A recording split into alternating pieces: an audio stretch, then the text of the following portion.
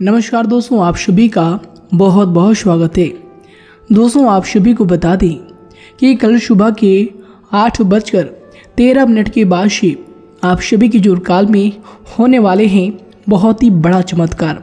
जी हाँ दोस्तों दोस्तों, आप सभी को बता दें कि कल सुबह आठ बजकर तेरह मिनट के बाद से माँ भवानी का असीम आशीर्वाद आप सभी के कुंडली में पड़ने वाली है।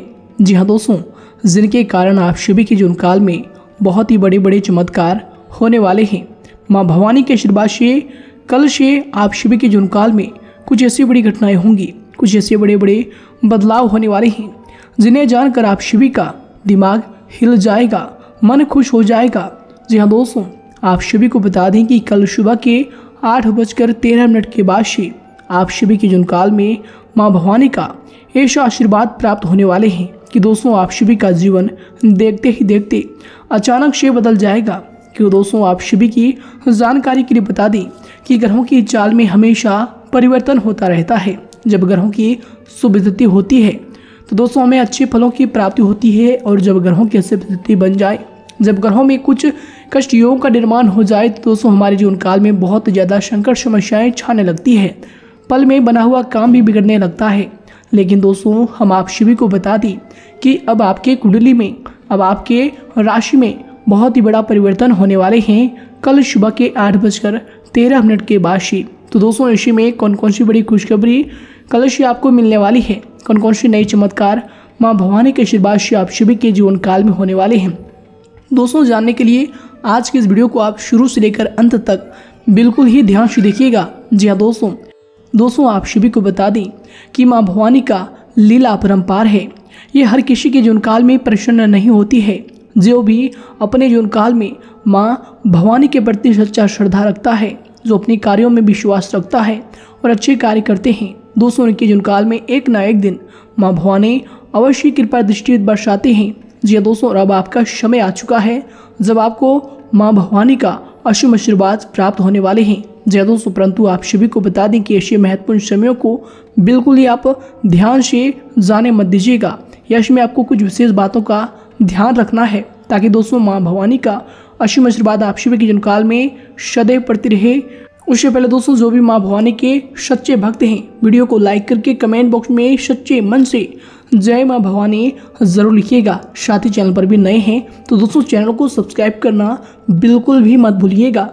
तो आइए दोस्तों बात करते हैं, शुरुआत करते हैं भगवान श्री कृष्ण के एक बहुत ही अच्छे ज्ञान से जी हाँ दोस्तों, ये ज्ञान आप सभी के जुनकाल में बहुत ही ज़्यादा महत्वपूर्ण साबित होने वाली है।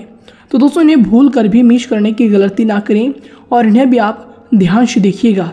जी हाँ दोस्तों दोस्तों, आप सभी को बता दें कि भगवान श्री कृष्ण कहते हैं कि भय की ऊर्जा, भय को न मारा जा सकता है, न जीता जा सकता है, केवल समझा जा सकता है।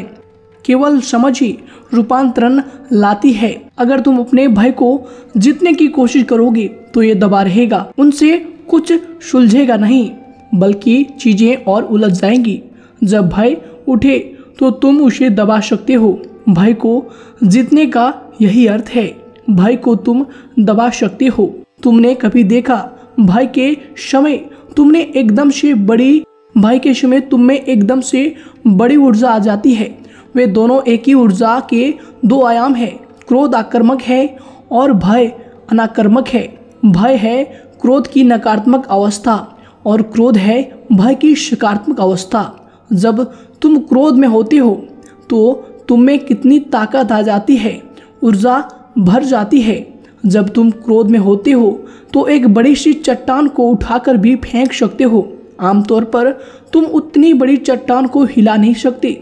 तो दोस्तों, भगवान श्री कृष्ण का यह परम ज्ञान अगर आपको अच्छा लगा हो, समझ में आई हो तो दोस्तों, वीडियो को एक प्यारा सा लाइक ज़रूर कीजिएगा और इनके लिए कमेंट बॉक्स में लिख दें, जय श्री कृष्णा, राधे राधे। तो आए दोस्तों से के साथ बात करते हैं कि कल सुबह के आठ बजकर तेरह मिनट के बाद से। माँ भवानी के आशीर्वाद से आप सभी के जनकाल में कौन कौन से बड़े बदलाव होने वाले हैं कौन कौन सी बड़ी खुशखबरी आपको मिलने वाली है, साथ ही कौन सी विशेष बातों का आपको ध्यान रखना होगा। आपका घर के माहौल में पारित जोन में, आपके प्रत्येक क्षेत्र में कौन कौन से बड़े सुधार कौन कौन से बड़े चमत्कार होने वाले हैं, इन सभी की महत्वपूर्ण जानकारी देंगे। तो दोस्तों, वीडियो को मिस करने की गलती ना करें और शुरू से लेकर अंत तक ध्यान से देखिएगा। तो आइए दोस्तों, बात करते हैं पूरे विस्तार से। दोस्तों यह समय दोपहर के बाद परिस्थितियाँ आपके लिए बहुत ही अनुकूल रहेंगी। बेहतर होगा कि दोस्तों, यह समय दिन की शुरुआत आपने कार्य संबंधी रूपरेखा बनाकर करें। विद्यार्थियों को भी अपनी मेहनत के अनुरूप या समय उचित परिणाम भी हासिल होंगे। दोस्तों, युवा वर्ग को अपने भविष्य को लेकर ज़्यादा सक्रिय और गंभीर रहने की आवश्यकता होगी। इसके उपरांत यश में अगर आपकी सावधानी को लेकर बात करें तो दोस्तों यह समय किसी मित्र के साथ कहा सुनी हो सकती है। यह समय धैर्य और संयम के साथ काम लें। वाहन या फिर किसी महँगे इलेक्ट्रॉनिक उपकरण को खराब करने की वजह से आपके सामने खर्चे भी आ सकते हैं। दोस्तों, कोई भी यात्रा करते समय बहुत अधिक सावधानी बरतने की आवश्यकता होगी। इसके दोस्तों यह समय आपके लिए जो समय होंगे, आपके दिनचर्या के लिए जो समय होंगे, दोस्तों, काफ़ी सारी बातें आपके मन के मुताबिक होने की वजह से आपको आनंद भी मिलेगा, परिवार से आनंद प्राप्त होगा। पेशे संबंधित कोई खास खबर भी यश में आपको मिल सकती है, जिनकी वजह से परिवार में आनंद का वातावरण बना रहेगा। दोस्तों, खर्चे कम होने की वजह से आप पर बना दबाव भी यश में कम होगा। इसके उपरांत दोस्तों यह समय आपके लिए जो समय होंगे दोस्तों, यह समय, कुछ समय से चले आ रहे तनाव से आपको राहत मिलेगी तथा पुनः घर की सुख सुविधाओं में संबंधित जरूरतें पूरी करने का आपका जो पूरा प्रयास उसमें रहेगा। दोस्तों, आय के नए स्रोत भी यह समय बनने की संभावना बन रही है। दोस्तों, यह समय अधिकतम व्यवस्था के कारण आप घर पर आराम नहीं करेंगे। दोस्तों, यह समय संतान की वजह से कोई चिंता भी आपके ऊपर रह सकती है। परंतु दोस्तों, यह समय गुस्से के बजाय शांतिपूर्ण तरीके से समस्या का हल निकालें। यह आपके लिए ज़्यादा उचित रहेगा। नकारात्मक विचारों को हावी यश में अपने ऊपर ना होने दें। इसके उपरांत दोस्तों यश में काम में गति प्राप्त करने की आपकी इच्छा होने के बावजूद भी आप यश में मनचाह गति अपने काम में नहीं ले पाएँगे। दोस्तों, यश में काम के आखिरी वक्त तक नहीं कहोगे। काम आखिरी वक्त तक नहीं होंगे, लेकिन अंत में सारी चीज़ें आपके मन के मुताबिक होने वाली है। इसलिए दोस्तों, संयम रखना आपके लिए ज़रूरी होगा। मित्र परिवार की वजह से आपकी इसमें चिंता बढ़ सकती है।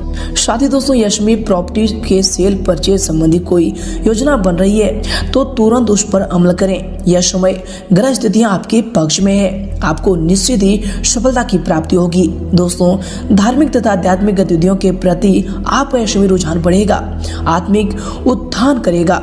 दोस्तों, ये जो आपके लिए समय होंगे, घर में किसी बात को लेकर कला की स्थिति उत्पन्न हो सकती है। दोस्तों, संतान की गतिविधियों पर भी कड़ी नज़र रखने की आपको आवश्यकता होगी। दोस्तों, मामा पक्ष के साथ अपने संबंधों को मधुर बनाकर रखें। यह समय अनावश्यक यात्रा के स्थगित रखने की आपको ज़रूरत होगी। इसके उपरांत दोस्तों, यह समय आपके लिए जिससे होंगे, अधिकतर वक्त अकेले गुजारने की वजह से आपके अंदर अकेलापन का डर बढ़ रहा है। दोस्तों यह समय आपको अपने व्यक्तिगत दायरे से बाहर निकलकर लोगों के साथ संबंध सुधारने की कोशिश करनी होगी। नए कामों को करने से आप कोशिश करेंगे। दोस्तों यह समय जिनकी वजह से आपका ज्ञान भी बढ़ेगा, नए अनुभव भी आपको यश में प्राप्त होंगे। इसके बाद दोस्तों यह समय आपके लिए जो समय होंगे।